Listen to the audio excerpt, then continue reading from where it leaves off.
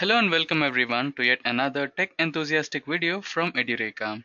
I am Ravi and today we will be discussing about serialization in Java. So without wasting much time, let us quickly take a peek on the agenda for today's discussion.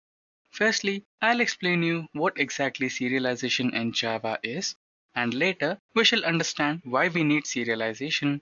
Followed by that, we shall understand how is serialization done in Java and later we shall discuss some major advantages and disadvantages related to serialization in Java and then some controversies based on serialization.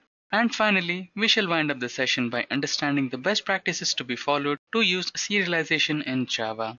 So I hope I made myself clear with the agenda. Now without wasting much time, let us quickly get started with our first topic, which is what is serialization? To understand serialization in a much better way, let us consider a simple example where we have two different JVMs at two different locations. Let us assume that JVM1 is executing a particular object and the same object is expected to be executed in JVM2 as well. Now, the only way would be transferring this object from JVM1 to JVM2. To transfer the object from JVM1 to JVM2, we must either follow the process of serialization or we must be using an externalizable interface. Now here, we shall use serialization process. In the process of serialization, the object is converted into a byte stream. And this byte stream is either saved in memory or a database or in form of a file. This byte stream is transferred to the JVM2 and at the JVM2 end, this byte stream will be deserialized and the object is retrieved to the original state and will be executed in JVM2. With this example, we can finally conclude the definition of serialization as follows. Serialization in Java is a process of converting the object code into a byte stream and transfer the object code from one Java virtual machine to another and recreate it using the process of deserialization. Now, with this, let us move on to our next topic, which is why do we need serialization in Java? We need serialization in Java for the following reasons. Firstly, communication. Serialization involves the procedure of object serialization and transmission. This enables multiple computer systems to design, share, and execute objects simultaneously. The next reason is persistence. The state of any object can be directly stored by applying serialization onto it, and it can be stored in a database so that it can be retrieved later. Note that only the particular state of an object is stored here, not the entire object. Followed by this, the next reason for using serialization will be deep copy. Cloning process is made simple by using serialization. An exact replica of an object is obtained by the process of serializing the object into a byte array and then deserializing it. The next reason will be caching. The time consumed in building an object is more compared to the time required for deserializing it. Hence, we can prove that serialization minimizes the time consumption by caching the giant objects. The final and the most important reason for using serialization is cross-JVM synchronization. The major advantage of serialization is that it works across different JVMs that might be running on different architectures or operating systems. With this, let us continue with our next topic, which is how do we serialize an object. A Java object is serializable if and only if its class or its parent class is implementing either of the two libraries which are java.io.serializable interface or its subinterface which is java.io.externalizable. In the serialization process, we convert an object state into a byte stream so that it could be transferred from one JVM to the other and revert the byte stream back into the original object. To understand this in a better way, we shall execute an example. In this particular example, we have class persist. The class persist takes care of the process of serialization. In the class persist, we have some details of the employees, which are the employee IDs and the employee names.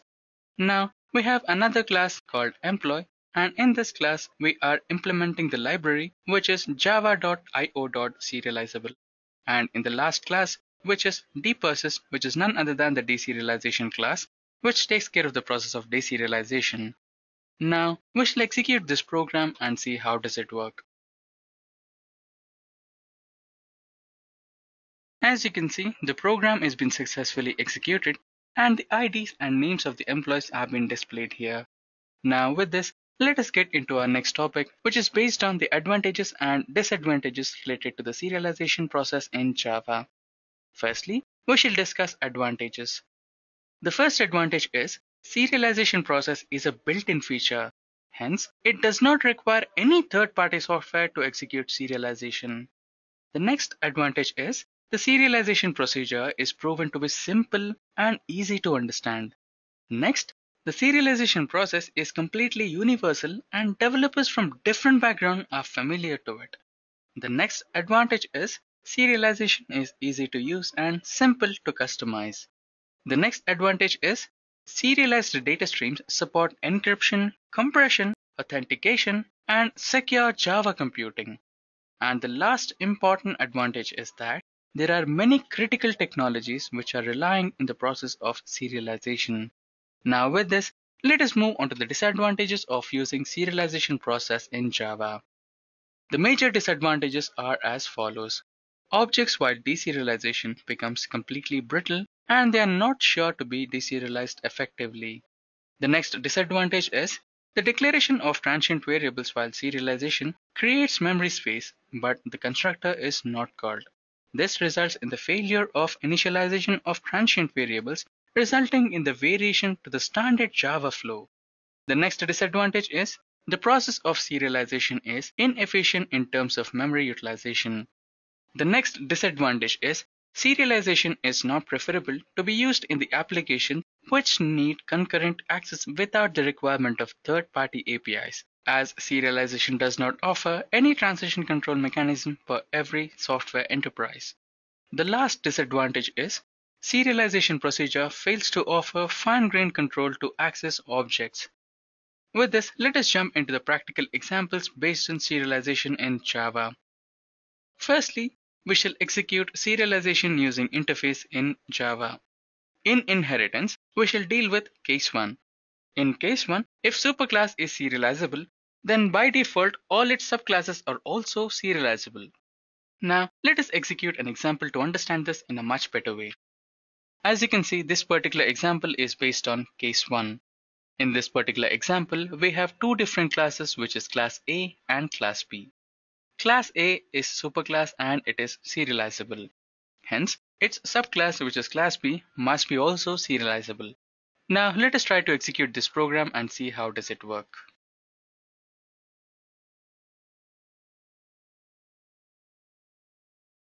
As you can see, the program has been successfully executed and the output has been displayed which says that the object has been successfully serialized as well as deserialized and the deserialized objects are displayed here which have the values i is equals to 10 and j is equals to 20. Now let us try to execute the second case of example. The second case says that if the superclass is not implementing the serializable interface, then the objects of the subclass can be manually serialized by implementing the serializable interface in the subclass. Now let us try to execute a program to understand this in a much better way. As you can see, this particular example is based on case 2 and this particular class is a superclass which is not serializable and this particular class is a subclass which is implementing serializable interface manually. Now let us try to execute this program and see how does it work. As you can see, the program has been successfully executed and the output is been generated here. Now, let us move on to the next case, which is case 3. In this case, the serialization of subclass can be prevented by implementing the write object method or read object method in the subclass and it needs to throw a not serializable exception from these methods. Now let us try to execute a program to understand this in a much better way. As you can see, this particular example is based on case 3 and this class is the parent class which is implementing the serializable interface. And in child class, we can see that we have two methods which is write object method and read object method. Now let us try to execute this program and see if it throws an exception or not. As you can see, the program has been successfully executed and the serialization of the objects is being stopped and the program did throw an exception, which is java.io.notSerializable exception. Now with this, let us get into our next topic, which is serialization using a static member. Serialization of a static member field is ignored in the process of serialization. Serialization is always related to the object's latest state. Hence, only the data associated with the specific instance of a class is serialized, but not the static member field. Now, let us try to execute an example to understand this in a much better way. This particular example is based on serializing a static member. As you can see, I have declared a static integer variable i which stores the value 100 and I'm trying to serialize this particular data member using the process of serialization as my class static serial is implementing the serializable interface. Now let us try to execute this program and see if this particular static member will be serialized or not. As you can see, this particular program is been executed successfully and the value of the static member variable is changed from 100 to 99. Now with this, let us get into our next topic, which is externalizable interface. The externalizable interface in Java is similar to serialization, but the only difference is that it is capable to offer customized serialization where you get to decide the objects to be stored in the stream. The externalizable interface is available in the java.io library and it provides two methods, which is public void write external method and public void read external methods and both of them throw an exception. The key differences between serialization and externalizable interface are as follows. Firstly, implementation. Externalizable interface expects the user to explicitly mention the objects to be serialized, while in serialization interface, all the objects and variables are serialized in the runtime. The next difference is backward compatibility and control. Externalizable interface supports serialization regardless of the version control and the only problem is that the user must be responsible while serializing superclass. On the other hand, serialization interface requires the same version of JVMs on both the ends, but it incorporates automatic serialization of all the objects and classes including the superclass. The next difference is public no-arg constructor. The externalizable interface requires no-arg constructor to reconstruct the serialized object, while Serialization interface does not require no-arg constructor, instead it uses reflection to reconstruct the serialized object or class. The next difference is process. Serialization process in externalizable interface provides customization to the serialization process, but serialization interface will provide default serialization process. The last difference is methods. Externalizable interface consists of two methods, namely write external and read external, whereas serialization interface does not include any methods. Now let us execute an example based on externalizable interface to understand it in a much better way. This particular example is based on externalizable interface. Now we have two different classes which is the demo class and the test class. Inside the demo class we have a default constructor and inside the test class we are trying to use the process of serialization.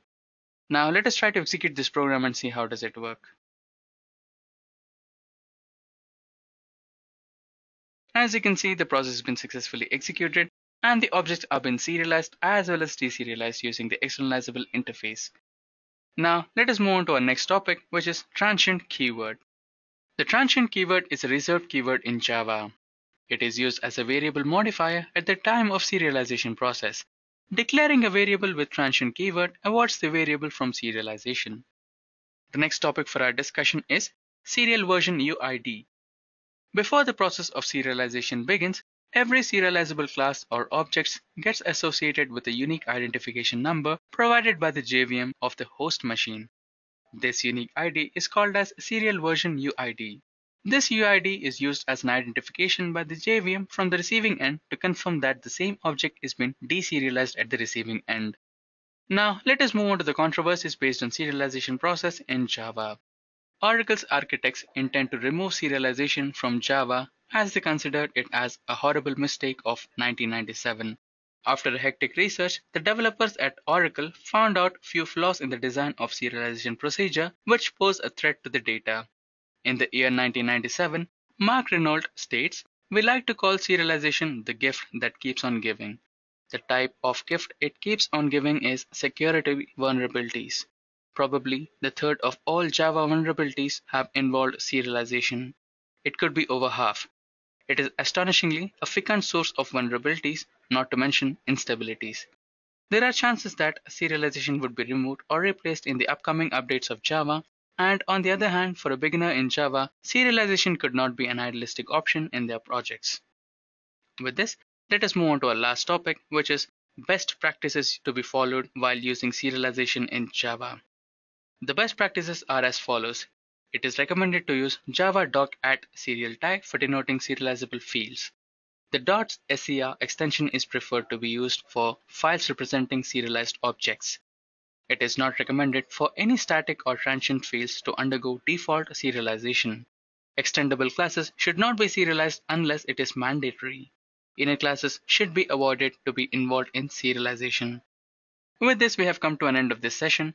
I hope you have understood the basics of serialization in Java, its types and functionalities.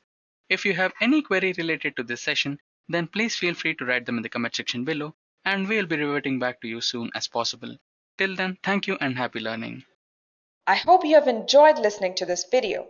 Please be kind enough to like it and you can comment any of your doubts and queries and we will reply them at the earliest. Do look out for more videos in our playlist and subscribe to Edureka channel to learn more. Happy learning!